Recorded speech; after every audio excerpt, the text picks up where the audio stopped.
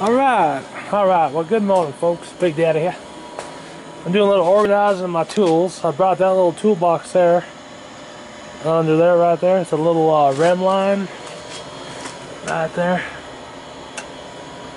Nice little toolbox. Got it out of the dumpster at work. Brought home a long time ago, about seven years ago. And I put it there. I had it on the other side over there. Brought it over here. I'm going through my tools. Got these tubs here from my other toolbox. And then I got all these pullers and stuff, pipe wrenches, and put them on the bottom down there, I think. And then I got a whole bunch of miscellaneous stuff that I got doubles and stuff. Put it in this tub here. Gonna go through that then, and then bring my toolbox in from the car and see what I need to fill that up. Then bring the toolbox in from the Ranger and see what I need to fill up in there. And then we can organize some things. Then I got that little toolbox. I filled up this drawer with this drawer's a little tricky with pliers and that kind of stuff. Some of my Mac stuff. Got little punches and not punches but nut drivers and some sockets and picks and big picks. Big the big picks are nice. And I got my another pliers drawer. And I got the little specialty things right there for now. More to add in there. So far here I got some sockets, and then I got my ratchets, and I got more sockets.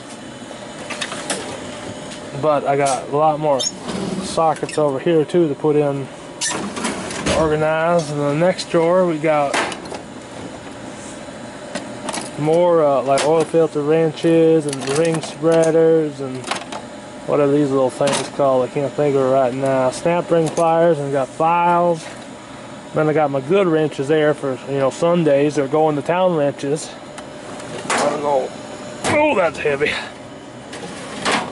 And I got some hammers from rubber to brass to ball peen to framing hammers,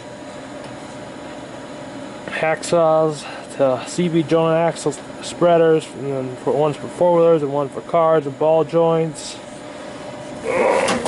So I'll bring it back when I get more figured out. Welcome back to day two of cleaning with Big Daddy. It's all gonna be why one video, but whatever. I found this bench. It was buried.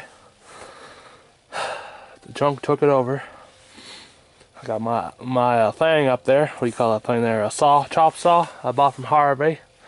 Got drill press. and got the little grinder. Got the the Millermatic 130 XP.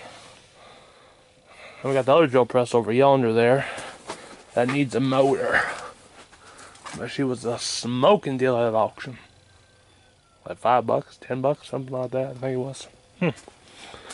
So, do a little more organizing. Hmm.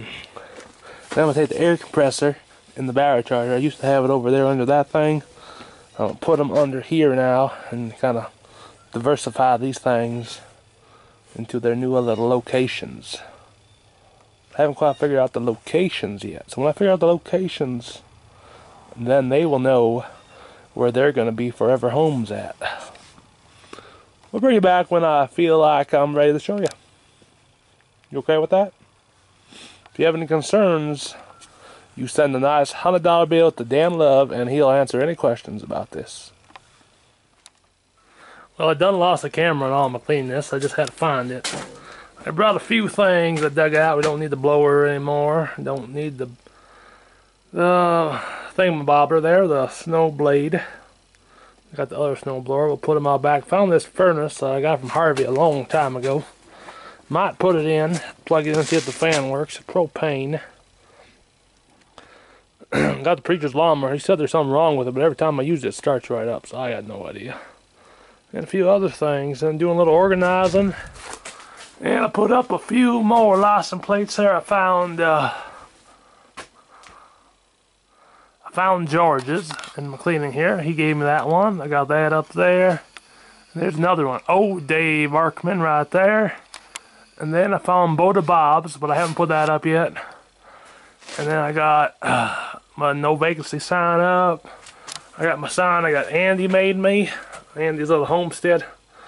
Big Daddy shop. And the other side it says something about kitchens. I got an old fire number up. I got an auction or something.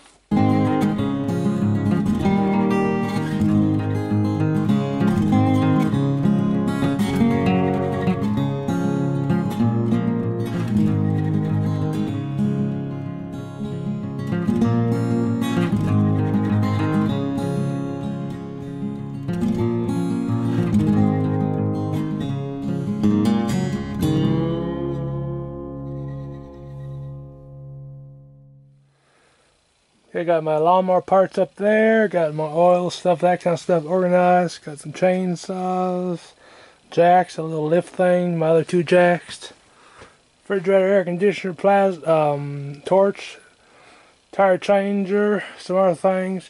Anybody needs a set of fenders for a WD-45 or a WD, let me know. That pair has a dent in it, came from the shipping and I didn't want them. So maybe Dave Arkman needs a set of fenders, let me know. And I got my other thing, got my mouse trap. Put a little shelf under there, put some chain binders on and stuff. Got the air compressor, jack stands, and battery charge there. Got the chops up here. Got my arbor press from George. Another little drill press, a grinder, the welder. Got all these wrecking bars got to put somewhere. Got a bolt bent on the wall now. Put up a few more signs. I got a sidewalk closed, 20 mile per hour that I got from Mr. Haver Chevy out of his store. No vacancy, no passing zone sign put up. I don't know what you're talking about. It ain't my fault. And This thing here is a picture somebody, somebody sent me a text message. I got hooked to the thing. It might not look any cleaner, but uh, it is a lot cleaner than it was. I even swept the floor. Look at that. My golly. Leaving the lift there because I got another project coming up. Instead of moving it back over there, I leave it there. Got some more shavings got from Dale. We gotta take them, put them in the chicken house for the chicken nests. Got that little toolbox here. Got that sucker all full now. Stuff down there. Got all these little hammers and things. And I got. Oh, heavy. I got this from Bo to Bob. Found that. Got my signs, my things. And I got some more license plates up there. I found Bo to Bob's license plate, and I put that up there, right, right there. So, I'm gonna call the video for right now. Call this in. I think I got enough footage. And then I'll start another one right after this. So hopefully you guys have a good day and we'll talk to you later. Bye.